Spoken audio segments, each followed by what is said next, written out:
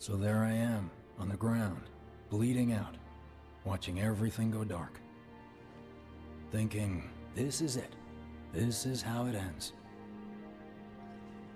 Only, it isn't. Suddenly, the wind picks up out of nowhere. It tugs at me so hard, it feels like it's tearing my soul right out of my body.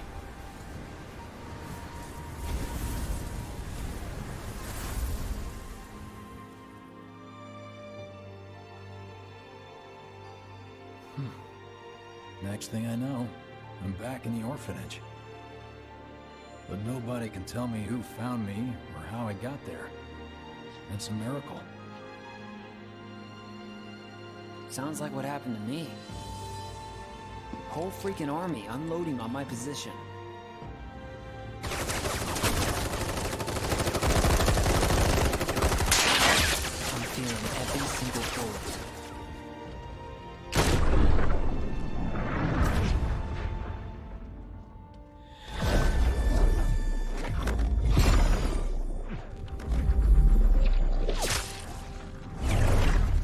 The wind starts blowing. One minute, I'm outnumbered. And the next, I'm alone. None of it makes any sense.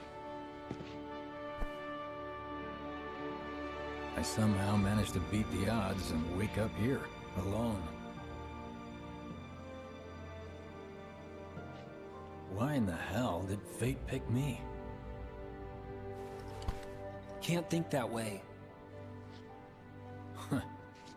Can't not think that way. Their luck runs out, but mine doesn't. I'm the only one who gets a pass. and now that it's just me, what am I supposed to do? You know? Yeah, I get it.